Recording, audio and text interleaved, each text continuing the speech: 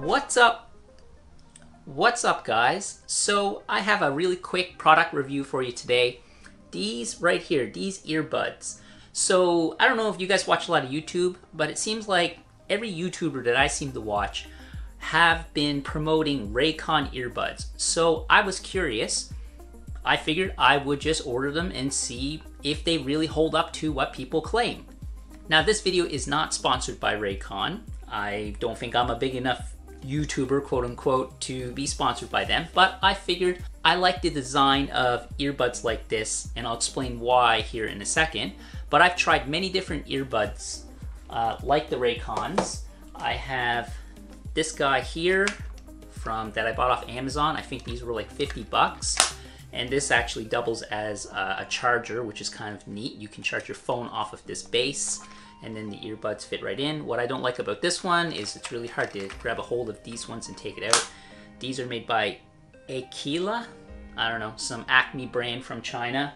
I also have these here. I got these for like 50 bucks last year at Black Friday. Might have even been cheaper than that. These are Skullcandies. And these guys here, they're very similar. They just fit into your ear like that. And I'll talk about some of the differences between all of these and what I think of the Raycon ones and if they're worth it. But to save you guys some time, if you're just curious, I do think they're worth it. And again, I'm not sponsored by them. I'm not paid. I paid full price for these. I think these were 80 American, which works out to be about in Canadian pesos, it's like, I don't know, 110 bucks or something like that.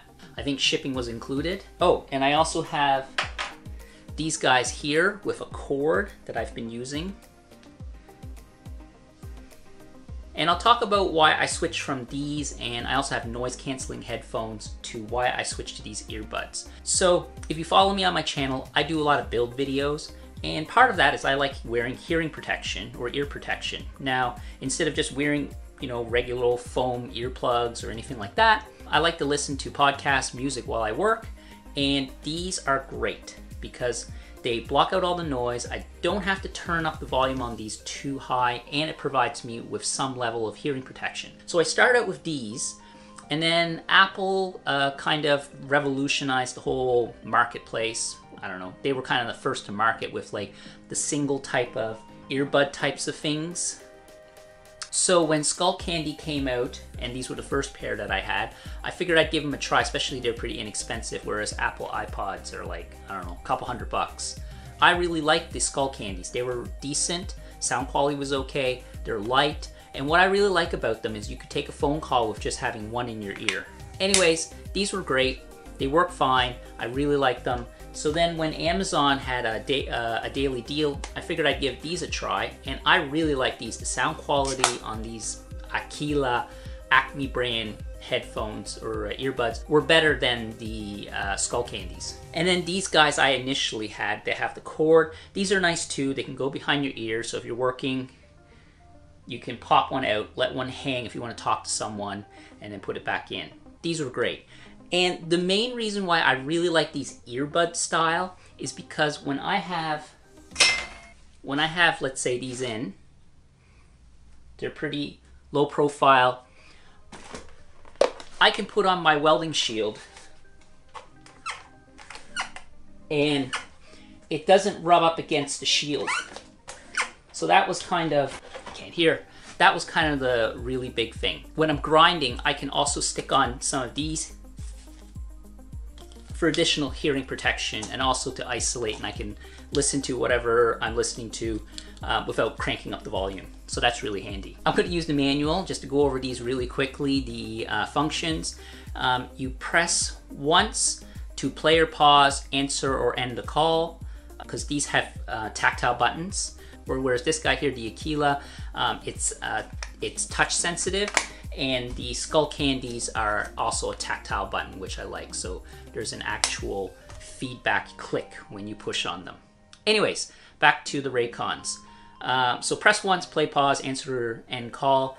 Press twice, previous song, next song, depending on which earbud you hit it on. Press three times, uh, volume up, volume down. Hold for two seconds will power it on and turn on Siri, or it'll reject the call and power off is you hold four seconds and it'll shut off. In terms of what Raycon claims for battery life, totally holds up. The other earbuds that I have are roughly about three hours and they die out. These totally will give you six hours on a full charge. And then the case itself, which is very small, uh, will give you an additional, I think, total of 24 hours. So you can charge the earbuds three times. In terms of the size, if you look at the size difference, like the Raycons are minuscule compared to even the Skullcandy, but you get way more playtime out of this because the Skullcandies again were only like three hours of playtime. And however, one thing I do like about the Skullcandy is the case. When you push on this button, it tells you the charge, how much charge is left in the case. Whereas on the Raycon, it only has this little white or red dial, and depending on, I don't really know how to read it. It says, I think in the manual, that when it's fully red, it's fully charged. Yeah, when it's charging, the red light flashes, and when it's fully charged, the uh, the light remains red. I, I don't know, I just get confused on that. The other minor annoyance is the charging port. It's micro USB, it's not type C, which is unfortunate because everything I have is mostly type C. But the micro USB, um, when you plug the cable in, if I want to leave it plugged in, the hinge hits that um, depending on the size of the plug, and hits that cord and it doesn't stay open or it's a little harder to open and close. Minor detail, but still a minor annoyance. So as I mentioned, it has a tactile button that you can push. It has a positive feel, which is really nice. They have a really great fit, and it came with additional um, little pieces for the ears depending on your size of your ear canal. You can take, off the rubber or silicone plugs and change those around. I do find they fit really nice and they hold. The other thing I really like about these is I can just use the left one independent from the right one. I can put it in the case and it will keep playing. So that's really handy. So there they are in the case, nice and compact. Like they're just tiny.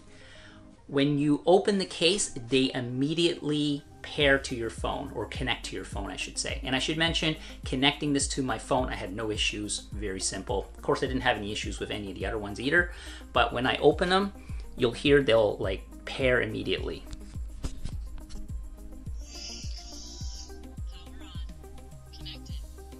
So yeah, so that's kind of cool. Whereas the other ones, you put them in the case and they shut off immediately. These, if you have something playing and you put them in the case and the, uh, the clamshell of the case remains open, they do not stop playing until you close the case. So something to note. So there you have it. That is my unbiased review of the Raycon wireless Bluetooth earbuds. I think that they're worth it. They are definitely cheaper than like AirPods or some of the more premium brands as Raycon states. And I was, again, wasn't paid by them to do this review. Although, hit me up, Raycon, if you want to sponsor one of my videos. Anyways, um, yeah, they fit great. Sound is really great. Like, no complaints. They're actually quite bassy. I had to turn down the bass uh, on my EQ um, in my music app. So, very, very good. Vocals are great. So, premium sound, or at least what I think is premium sound, or what I consider premium sound. Good fit and finish. Um, reliable. Haven't had any issues with connectivity very reliable. And for my use case, again, here in the shop, stick hearing protection on, or my welding shield, and I can still listen to my music. All right, so I do give these a recommend. Leave a comment below. I'd be interested to hear what yeah, some of you guys is what you do for um, hearing protection when maybe when you work in your shop, or um, do you like these types of earbuds, or do you prefer regular earphones, or do you just blare the radio? For the price to performance ratio, I think they're worth it. So all these YouTubers advertising these, yeah, I think uh, I think that's good. I think it's all right. So thanks so much for watching. I will see you guys in the next video.